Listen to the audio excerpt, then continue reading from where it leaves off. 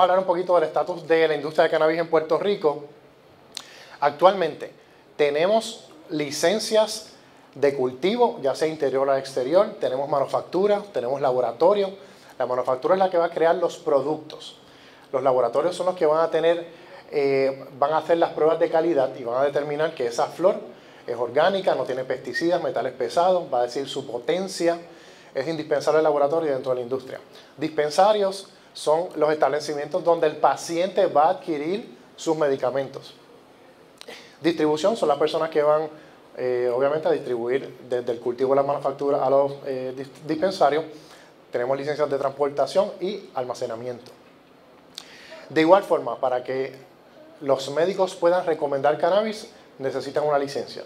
De igual forma, los pacientes que quieran adquirir este tipo de tratamiento necesitan una licencia.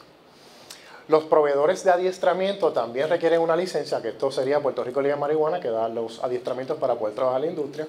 Y las licencias ocupacionales son las licencias que requieren todo individuo para poder trabajar dentro de la industria.